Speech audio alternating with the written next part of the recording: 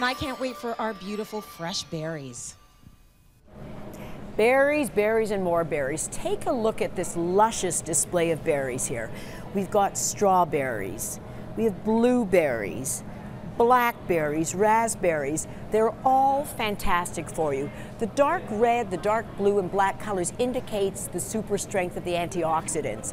So strawberries, for instance, they have more vitamin C than an orange. One cup gives you your entire intake of vitamin C. Strawberries also, ladies, listen in, great for collagen, which helps fight wrinkles.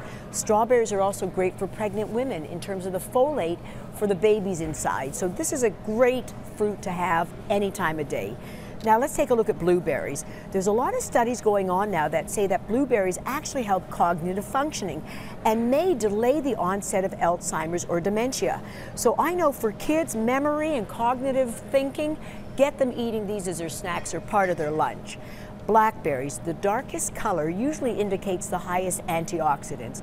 A super berry.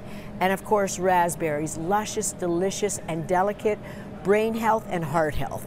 In general, you can use these in your yogurts, in your desserts, make sauces out of them, puree them with a little bit of icing sugar. And if you're gonna have a bowl of ice cream, better off counter it off with a little bit of the berries too. Storage, make sure you never wash these before you put them into the refrigerator. You want to keep them the way they are, and they'll only last about two or three days, but you'll finish them before that. So remember, these are very, very good.